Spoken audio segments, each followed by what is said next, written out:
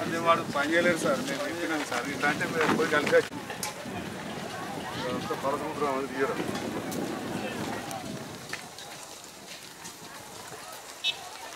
Two పెట్టేసి మత్త పెట్టి మొత్తం అయినాక పక్కన సార్ ఆపడు చేసుకో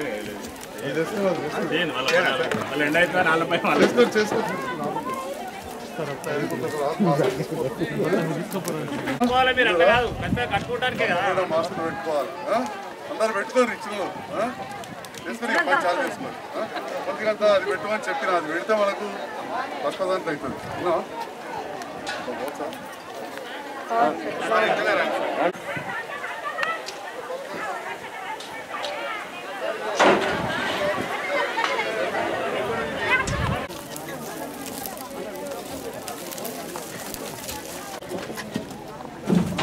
అవునా?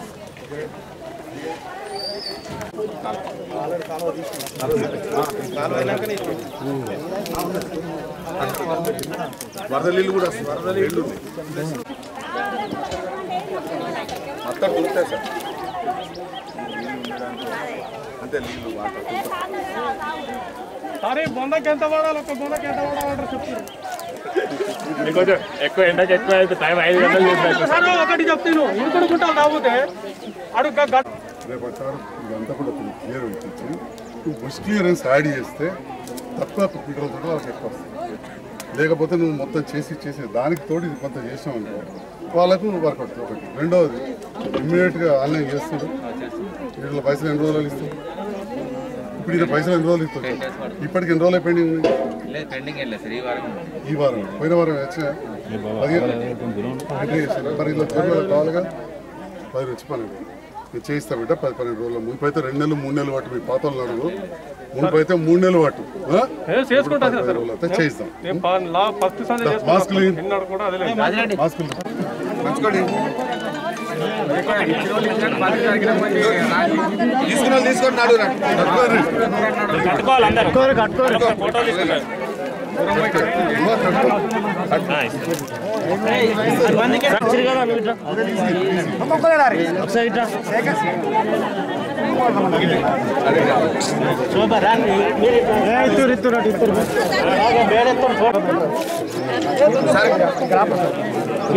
అది అందరిసీ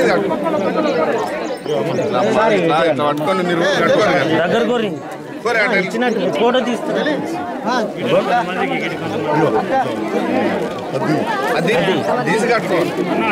సార్ ఒక్క నిమిషం ఇక్కడ తక్కల బండికి ఎచ్చి కాళ్ళకి తక్కల ఇక ఆపండి ఆపండి ఎంతసేపు ఇయ్యరు? అందరికి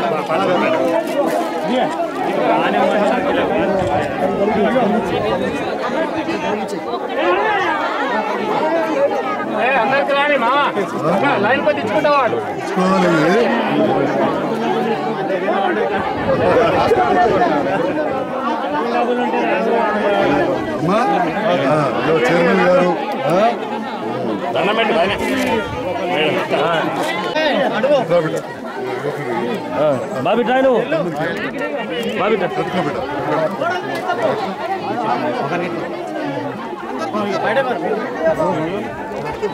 ముఖ్యంగా జైత్యాల నియోజకవర్గంలో ఇప్పుడు కరోనా నేపథ్యంలో లాక్డౌన్ ఉన్న సందర్భంగా చేతులాడితే కానీ పుట్టగడవని పరిస్థితిలో ఉన్న గ్రామ ప్రజలందరూ కూడా ఒక ఉపాధి హామీ పథకం ద్వారా వారికి ఇటు డబ్బులు ఆదాయం వస్తుంది. అదేవిధంగా గ్రామంలో ఉన్న కాలువల పూడికతీత కానీ ఇలా కుంటలు కానీ అన్నీ కూడా శుభ్రపరచాలనే ఒక గొప్ప ఆలోచనతో ఈరోజు సంజయ్ అన్న గారు మొత్తం జైత్యాల్ నియోజకవర్గం కూడా మొత్తం కాలువలు చివరి ఆయకట్టు వరకు నీరందే విధంగా రైతులకు ఇబ్బంది కలగకుండా ఈరోజు ఈ ఉపాధి హామీ పనుల ద్వారా కాలువల పుడకతీత పనులు చేపట్టడం జరిగింది. అదేవిధంగా ఇక్కడికి వచ్చిన ఈ యొక్క ఉపాధి హామీ కూలీలకు కూడా ఇబ్బంది జరగకుండా వారి ఆరోగ్యం కూడా ముఖ్యమని చెప్పేసి ఈరోజు సంజయ్ అన్న గారు వారి చేతుల మీదుగా మాస్కుల పంపిణీ చేయడం జరిగింది. ప్రతి ఒక్కరూ మాస్క్ కట్టుకోలే భౌతిక దూరం పాటిస్తూ వారి ఆరోగ్యం కూడా మాకు ముఖ్యమని ఈరోజు సంజయ్ అన్న గారు ఈ యొక్క కార్యక్రమంలో గొప్పగా వారికి కూడా ఇంకా ఓఆర్ఎస్ ప్యాకెట్లు కూడా ఇక్కడ అందుబాటులో ఉంచాలి. ఎండ తీవ్రత ఎక్కువ ఉంది కాబట్టి అని చెప్పడం జరిగింది. వైద్య అధికారులకు కూడా ఎక్కడికక్కడ జైత్యాల నియోజకవర్గంలో. కాబట్టి ఈ పనులు ఎక్కడ కూడా చాలా తక్కువ ఉండే మీకు. ఇప్పుడు తెలంగాణ రాష్ట్ర ప్రభుత్వం వచ్చిన తర్వాత రెండు వందల ముప్పై ఏడు మీకు కూలి వేతనం రావడం జరుగుతుంది. మీకు కష్టానికి తగ్గ ఫలితం రావడానికే ఇక్కడ సంజయన గారు నిరంతరం ఎల్లవేళ్ళ కృషి చేస్తారు. సెక పంచాయత్ సెక్రటరీ కానీ ఎప్పుడు కూడా వీళ్ళు ఎంత పని చేస్తారో వాళ్ళకు డబ్బులు కూడా ఆపొద్దు. మీరు కూడా వాళ్ళ పని చేసిన దానికి ఫలితం ఉండాలి కాబట్టి అందరూ కూడా ఈ యొక్క మీకు కూడా పని లేదు ఇంట్లో ఉంటే ఏమొస్తుంది? ఇంట్లో ఉంటే పది రూపాయలు కూడా రావు. ఇంత గొప్ప కార్యక్రమాన్ని చేపడినందుకు మీరు సద్వినియోగం చేసుకోవాలి. మీకు ఉపయోగపడతాయి మీ గ్రామానికి ఉపయోగపడతాయి కాబట్టి మీరు అందరూ కూడా ఒక అర్థం చేసుకోవాలి. తెలంగాణ రాష్ట్రం వచ్చిన తర్వాతనే ఇంత మంచిగా మనం ఆరోగ్యంగా ఉన్నామంటే మన ముఖ్యమంత్రి గారి ఆలోచన. కాబట్టి మీరందరూ కూడా ఈ కరోనా నేపథ్యంలో ఈ యొక్క ఉపాధి పనుల ద్వారా మీరు ఆదాయాన్ని పొందుతూ మీ ఆరోగ్యాన్ని కాపాడుకోవాలని చెప్పేసి తెలియజేస్తూ ఇక్కడికి ఆహ్వానించిన పెద్దలు సంజయ్ అన్న గారికి అదేవిధంగా పురంల గ్రామస్తులకు నా యొక్క కృతజ్ఞతలు. జై తెలంగాణ. ఈనాడు ఒక గొప్ప కార్యక్రమాన్ని అలా పొరల్ల కాడ చేపట్టినందుకు నేను ఇక్కడ కూలీలను అదేవిధంగా రైతుల నాయకులు అభినందనలు తెలియజేస్తున్నా. కూలీలు అంటేనే రైతులు అంటేనే నిజంగా చెప్పాలంటే కష్టపడి జీవించేవాళ్ళు. అలాంటి సమయంలో కూడా ఇప్పుడున్న ప్రత్యేక పరిస్థితుల్లో యంత్రీకరణ అయిన తర్వాత ఈ నాట్లు వేసేదానిక ఇత్తనం వేసేదానిక పోయిన నెల నుంచి కూడా ఏం పనిలేని పరిస్థితి. అటువంటి సమయంలో మన మంత్రి గారైన ఈశ్వరన్న గారు నన్ను పిలిచి ఒక సలహా ఇచ్చారు. అక్కడ ఇక్కడ ఈ గుట్ట కాగుట్టకు అవి చేసే బదులు కాలువలు చెరువులు కుంటలు ఇవన్నీ మనం చేసుకుందామని చెప్పనగానే అటు ధర్మపురి నియోజకవర్గం ఇటు జగిత్యాల్లో నేను మా సోదరి జేడీపీ చైర్పర్సన్ గారు మండల ప్రెసిడెంట్ సర్పంచ్లు నాయకులు అందరూ కూడా ఎంపీటీసులు కలిసి వివిధ కాలువలు చూసుకుంటూ అక్కడ అధికారులకు కూడా చెప్పి ఎక్కువ కూడా చెరువులకు కాలువలకే చెప్పమను. దానికి రెండు కారణాలు. ఒకటి మనకి ఈ టైంలో పని లేని టైంలో పొద్దుగాల ఒక నాలుగైదు గంటలు చేసుకొని రోజుకొక రెండు వందల నుంచి రెండు వందల ముప్పై ఏడు రూపాయలు పడేదాకా మనకింత ఖర్చులకు పైసలు వస్తాయి రెండవది ఈ చెరువులు కుంటలు కాలువలు సాఫ్ అయితే నీటి నీళ్ళు ఎక్కువైతే రేపటి నాడు కింద భూములలో బావిలలో నీళ్ళు పెరగడం ఆ పార్కం ఎక్కువ అవడం వల్ల కూడా మన ఊరికి ఆదాయం అవుతుంది. అంటే ఉత్పత్తి పెరుగుతుంది. ఏదో వట్టిగానే పోయి చేసింది అనుకంటే దీనివల్ల ఇప్పుడు మీరు చేస్తున్న కష్టం వల్ల ఏదైతే ఈ నీళ్ళు అయితే పెరుగుతాయి ఈ చెరువుల దాని ద్వారా రేపటి నాడు మీ ఊర్లో ఇంకా పంటలు ఎక్కువ పండే అవకాశం ఉంటుంది. మరి ఇప్పటికే మనం చూస్తున్నాం తెలంగాణ రాష్ట్రం ఏర్పడ్డాక ఇరవై నాలుగు గంటల కరెంట్ ఇచ్చి ఈ కాలువలు తవ్వి దాదాపు చాలా చెరువులు కూడా మిషన్ కాకతీయాలని ఇంట్లో కొంచెం పని జరగలేదంటే ఇప్పుడు ఈ ఉపాధి హామీలో పెట్టడం జరిగింది. మరి అది పర్యవేక్షణకు వచ్చినాం. అయితే ఇంతకుముందు కొంతమంది కూలీలు అనుకున్నంత కూలీ వస్తలేదు కొద్దిగా కష్టం ఎక్కువ అవుతుందని అన్నారు. దానికి కొన్ని నిబంధనలు రూపొందించినవి ఉన్నాయి భారతదేశం అంతా కూడా. కానీ అందులో నేను మన సెక్రటరీ గారిని కోరుతున్నా కొంచెం మెత్తడి పని కూడా వాళ్ళకి అప్పచెప్పాలి. ఇవన్నీ బుష్ క్లియరెన్స్ అంటారు. ఇవన్నీ కూడా తీస్తే నీకు వాళ్ళకి అలక అవుతుంది ఇది అది కలిపి పెట్టాలి. కొంత అది కొంత ఇది. మొత్తం ఇదే తవ్వాలంటే కొద్దిగా ఇబ్బంది అవుతుంది. చాలా చోట్ల కాలువలలో అట్లా చేసినప్పుడే బుష్ క్లియరెన్స్ ద్వారానే వాళ్ళకి కొద్దిగా పైసలు ఎక్కువ వచ్చాయి. లేకపోతే నూట ఎనభై రూపాయలలో పడ్డది. కానీ ఎప్పుడైతే మనం బుష్ క్లియరెన్స్ అంటే ఈ ఈ చెట్లు చేమ తీసేస్తే మనకు రెండు వందల ముప్పై దాటుతుంది. మీరు అది తప్పకుండా అది. అదేవిధంగా పది పన్నెండు రోజులలో పైసలు వచ్చేటట్టు కూడా చూడాలి. పాత వచ్చినాయండి? పది పన్నెండు రోజుల్లో రావాలి. ఎవరైనా రాకుండా కానీ తప్పకుండా చేసే పని చూస్తారు. మరి ఈనాడు ఇంత పొద్దున్నే వచ్చి చెరువంతా కూడా మంచిగా లోతు చేస్తున్న మా కార్మికులకు మా వ్యవసాయ కూలీలందరికీ కూడా నా హృదయపూర్వక ధన్యవాదాలు. మరి ప్రభుత్వం మీకోసమే ఉన్నది. మీ అందరికీ తెలుసు. ఇప్పుడున్న పరిస్థితులలో రైతులను కూడా కోరుతా ఉన్నా. మనము ఈ దొడ్డు బియ్యమేమో ఎవరం తింటలేమా దేశానికి ఇచ్చిన తింటలేమా అందుకని ముఖ్యమంత్రి గారు సన్న బియ్యం అది కూడా దొడ్డు బియ్యం కూడా కొంచెం పెట్టమంటున్నాం కొత్త సన్నాలకు పోవాలి. మక్కలకేమో అసలే డిమాండ్ లేదు. పరిస్థితులు వేరే ఉన్నాయి. ఎక్కువగా నూనె గింజలకే ఎక్కువ డిమాండ్ ఉంది.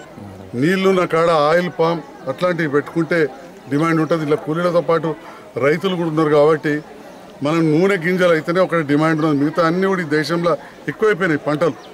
ఇప్పుడు ఈ వడ్లు పంపితే ఏ రైస్ మిల్లో జాగలేదు? మీరు ఎక్కడైనా ఏ రైస్ మిల్ కన్నా పోని వాడు అద్దం దండం పెడుతుండు.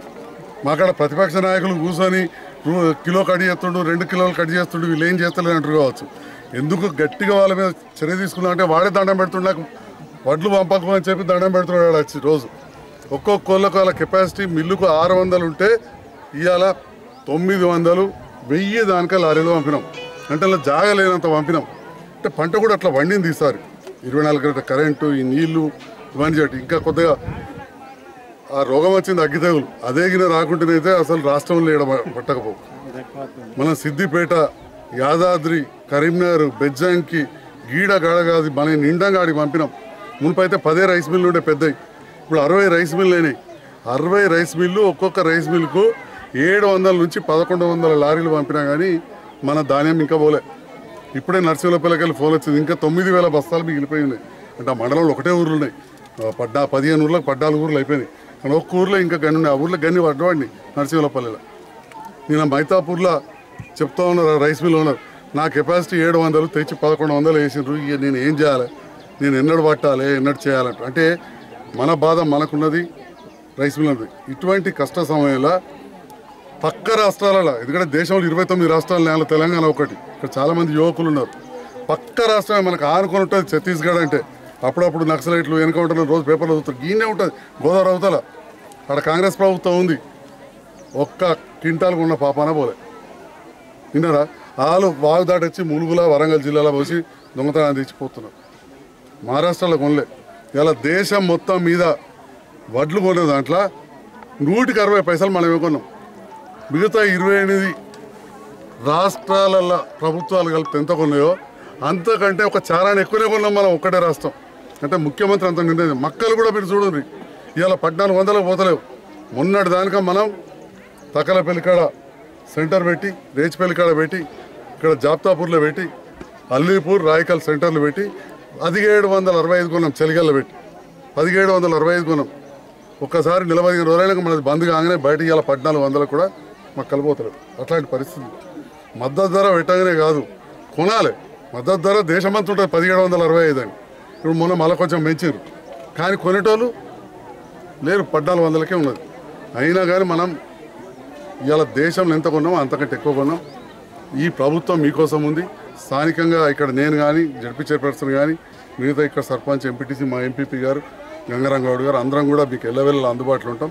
ఏదైనా సమస్యలు ఉన్నా మాకు తెలియజేయండి. తప్పకుండా ఈ చెరువు కూడా మంచిగా మనందరం కూడా కలిసి చేసుకుందాం. ఈ సమయంలో మిమ్మల్ని ఒకసారి కలిసిపోవడానికి వచ్చినాం. మమ్మల్ని ఇక్కడ ఆదరించినందుకు మీ సమస్యలు కూడా కొన్ని మాకు తెలియజేసినారు. వాటిని కూడా పరిష్కరిస్తాం. ఎల్లవేళలా మీకు అందుబాటులో ఉంటామని అతి ముఖ్యమైన విషయం ఈనాడు నేను జడ్పీ చైర్మన్ గారు మీరు రావడం. ప్రతిమ ఫౌండేషన్ అంటే మన కరీంనగర్లో ప్రతిమ దవాఖాన ఉంది కదా. వాళ్ళది ఫౌండేషన్ ద్వారా కోటి మాస్కుల పంపిణీ కార్యక్రమం పెట్టారు. ఒక కోటి మందికి. దాంట్లో ఇలా రెండు వందల యాభై మంది మన ఉపాధి హామీ కూలీలకు ఇక్కడ వరణాలు ఇచ్చారు. మరి అన్నిటికంటే ముఖ్య విషయం మీ అందరికీ తెలుసు టీవీలలో రోజు చూస్తూనే ఉన్నారు. కానీ మళ్ళీ మా బాధ్యత ఒకసారి గుర్తుంచుడు. మన జైత్యాల స్థానికంగా మనకు ఒక్క కేసు కూడా లేవలే. ఫస్ట్ ఏమో బయట దేశంలోకి వెళ్ళి వచ్చిన వాళ్ళతోటి ఆ మర్కజ్ తోటో రెండు కేసులు కొరుట్ల కాడ వచ్చినాయి. ఒక్క వంజరపల్లె పిల్లడానికి గుంటూరులో వచ్చింది. అందరు మంచిగా ఉన్న టైంలో బాంబేకి వెళ్ళి వాళ్ళు మన బిడ్డలే. వచ్చినప్పుడు అక్కడ బాంబేలో మహారాష్ట్రలో చాలా ఘోరంగా ఉంది పరిస్థితి. వాళ్ళకు కొంతమందికి వచ్చింది. కానీ బాగుంటుంది వాళ్ళు ఒక ఇద్దరు చనిపోయారు కానీ అందరూ మంచిగానే ఉన్నారు. ఏదున్నా కానీ కరోనా అనేది చాలా రోజులు ఉండేటట్టుంది. ఎట్లయితే ఇప్పుడు ఇచ్చిన ఉద్దేశమే పెట్టుకోవాలని చెప్పి మీరందరూ కూడా మాస్కులు పెట్టుకోవాలి. అన్నిటికంటే ముఖ్యంగా గజం గజం దూరం ఉండాలి. గోలకోలు పనిచేసినప్పుడు కానీ ప్రతి కాడ కానీ మాస్కులు పెట్టుకోకపోతే ఎవరికి ఉంటుందో తెలియదు కరోనా వ్యాధి అనేది. ఎవరికి ఉంటుందో తెలియదు. నూటికి ఎనభై మందికి అది వస్తుంది పోతుంది. ఓ పది నుంచి ఇరవై శాతం మందిలే అది ఇక దవాఖాన పాలవుతాం మనం. ఇక దవాఖాన పాలైనామంటే చూస్తున్నారు కదా మీరు ఇవాళ పొద్దుగాల పత్రిక చూడగానే నిన్న సాయంత్రమే చూసిన వార్త వచ్చింది. హైదరాబాద్లో నిమ్స్ దవాఖాల డాక్టర్లకు సిస్టర్లకు వచ్చింది. ఇవాళ గుండె డాక్టరు వాళ్ళు ఇప్పుడు నిమ్స్ దవాఖాల బంద్ పెట్టేసింది. సూపర్ స్పెషాలిటీ ఆ బ్లాకే బంద్ చేసింది. అంటే డాక్టర్లకు కూడా బాగా మందికి వస్తుంది. అంటే మన ద్వారా. కాబట్టి దయచేసి ఏంటంటే ఇది అంటించుకోవద్దు. ఎక్కువ మంది చనిపోరు భయపడద్దు. నూటికి ఇద్దరు ముగ్గురు చచ్చిపోతారు వచ్చిన వాళ్ళు కానీ రాకుండా చూసుకోవడం ఉత్తమం. ఎందుకంటే మన బీద దేశం. మంచి సంపన్న దేశాలు అమెరికా ఇటలీలనే గోసగోస అవుతున్నది. కాబట్టి నేను ఇక్కడ పొరంల యువకులకు ఇక్కడ రైతులందరూ కూడా నేను కోరుతా ఉన్నా ఈ కరోనా విషయంలో అప్రమత్తంగా ఉండాల్సిందిగా కోరుతా ఉన్నా. Thank you